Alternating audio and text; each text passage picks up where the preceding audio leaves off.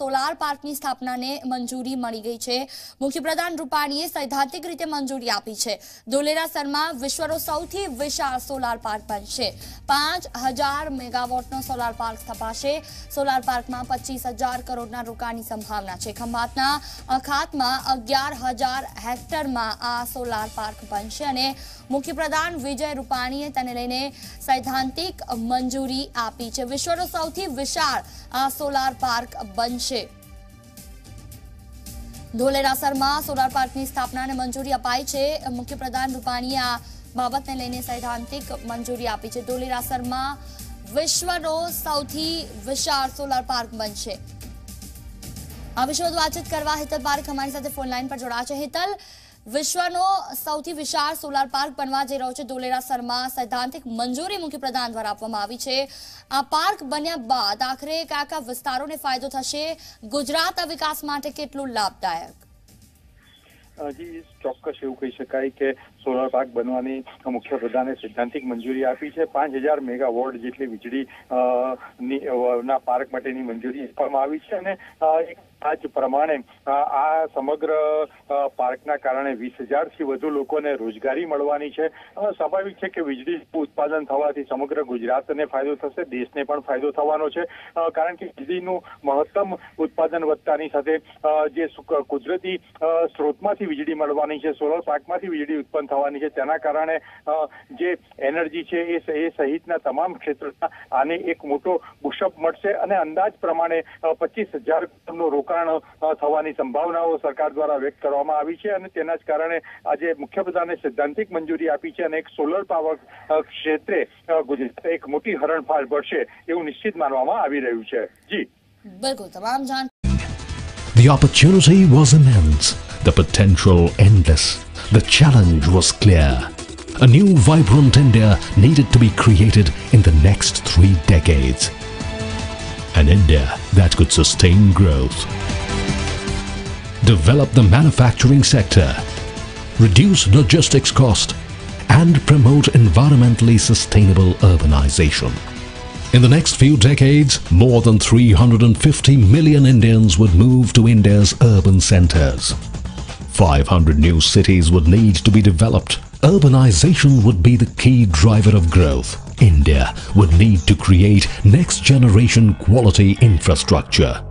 This was a global opportunity to set a global example. And it was to capitalize this opportunity that DMICDC was conceived of as a partnership project between India and Japan. uh, foreign investors, including Japanese investors. This is a, a remarkably aggressive and exciting opportunity for India and the states involved in that corridor activity to change the future of the country, to change their own future, and to change the future of the people who live and work here.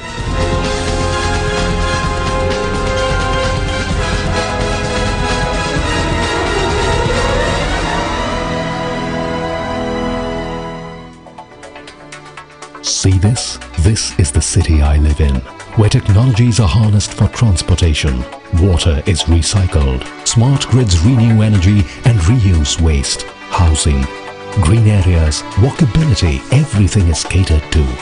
I live in a prosperous, sustainable city. And it is all because of what you are doing now. Hold on tightly to this vision. Realize its vast potential. Become a partner to it and make it real for UNO. That is why it is known as the growth engine of India.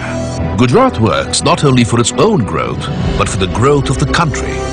It has had double digit GDP growth for the last several years. And it has the fastest growing approach. Gujarat believes in making the pie bigger and also sharing it. And that is why it has harmonious labor relations and absolute industrial peace. Gujarat is the leading investment destination in India. Its strong fundamentals drive its growth, and the same fundamentals attract investors to Gujarat.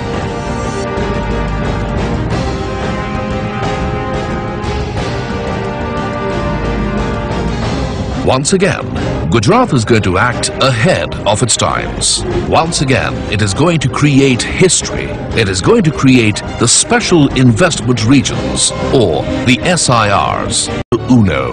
That is why it is known as the growth engine of India. Gujarat works not only for its own growth, but for the growth of the country.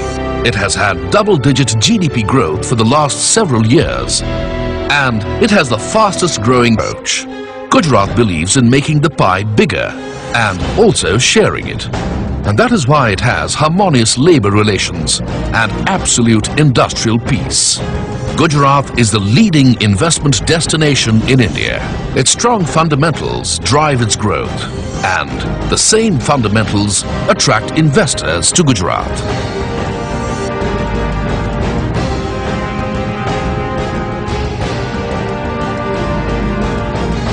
Once again, Gujarat is going to act ahead of its times. Once again, it is going to create history. It is going to create the Special Investment Regions, or the SIRs, UNO. That is why it is known as the growth engine of India. Gujarat works not only for its own growth, but for the growth of the country. It has had double-digit GDP growth for the last several years, and it has the fastest growing approach. Gujarat believes in making the pie bigger and also sharing it. And that is why it has harmonious labor relations and absolute industrial peace. Gujarat is the leading investment destination in India. Its strong fundamentals drive its growth and the same fundamentals attract investors to Gujarat.